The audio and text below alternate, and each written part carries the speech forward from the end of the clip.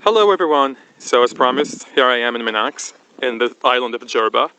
It's a beautiful site in southern Tunisia, and even though very little ruins remain, we can still have see evidence of the greatness of the city.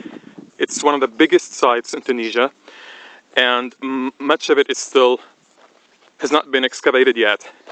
And I'm truly blessed to be here today because I have been waiting for this moment for so long and here are the Murex maceration tanks that I was talking about in my group.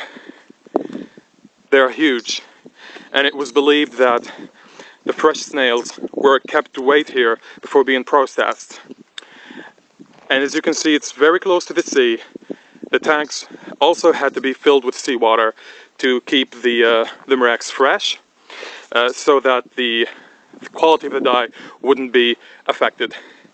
So once these tanks were filled, the Murex started to be being processed.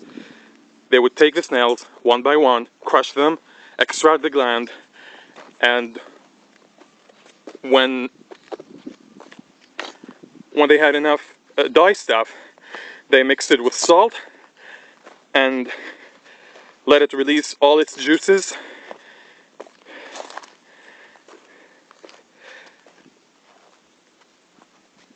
before transferring the uh, dye stuff to the dyeing factory. In these huge tin vessels or lead vessels where they had to simmer at very low uh, temperatures for about 10 days until the dye was ready.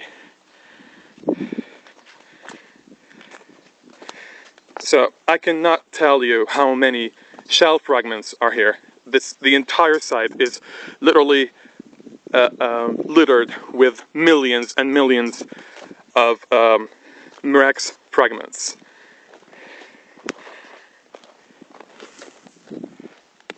And here are my little babies, back where they belong.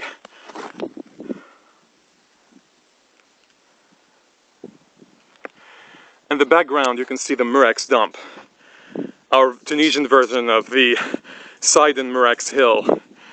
And this is where the, um, the crushed snails were dumped at the outskirts of the city because the stench was horrible and they couldn't keep it, you know, like close to the habitations and the buildings. So all of these discarded shells had to be um, dumped at the outskirts of the city. We will be there in a minute. Bye.